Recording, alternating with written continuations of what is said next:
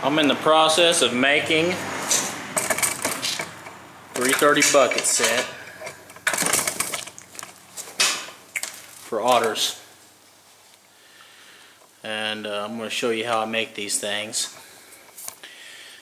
Most people don't make bucket sets with 330s, but I'm going to because that's what I have and that's what I want to use. It's going to be a little different. On a normal 220, you would just cut a notch where these springs would fit down in the bucket. Well, obviously you can't do that with the 330. But I like my opening to be as big as possible for otters. And that's why I'm using 330s here. So what I have is intersections where the corners are meeting. And I'm going to mark these four intersections on the top side and the bottom side. And those sides only. So I'm going to mark these. And what I'm going to do is I'm actually going to mark them just a little bit short so that the pressure of the bucket of the jaws inside that bucket will hold the trap in and hold it solid. So uh, stick with me here and I'll get that done. I'm actually going to turn the camera off while I do that so you can kind of see the finished process. Alright, so what I did was I drilled holes where these corners intersect. And so what I'm going to do now is I'm going to take a jigsaw and of course I'll come up and then I'll come over and connect the other hole on the side over here.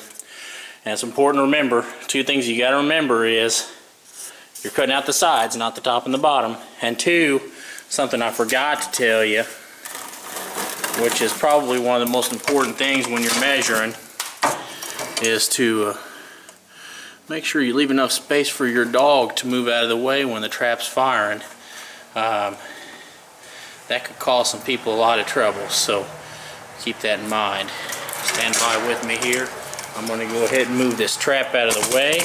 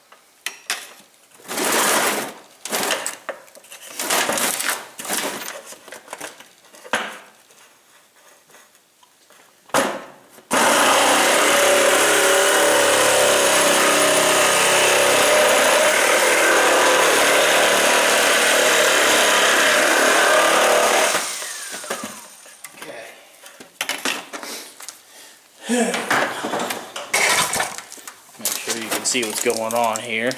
Alright. So I'll cut the sides out.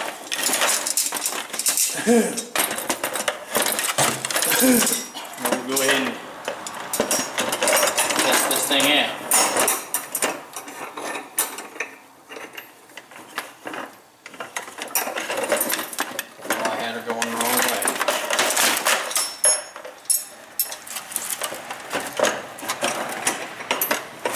Mm-hmm.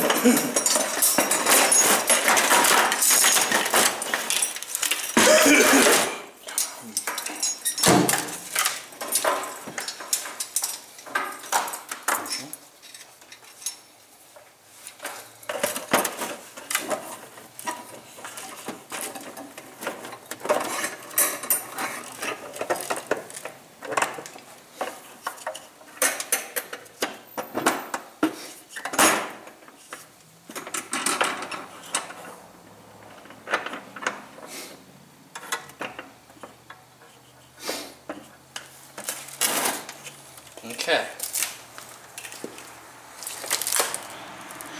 Now you can see how that bucket stretched out to fit the Conibear.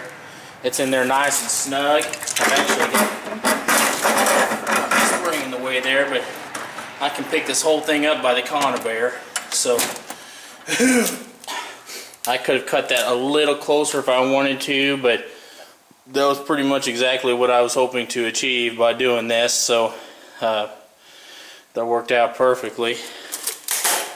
Feel free to leave a comment and let me know what you think of this. And uh, coming up here pretty soon, you're going to get to see some video footage of me using this on some otters. I'll be going out this weekend and uh, and setting these out. So stay tuned.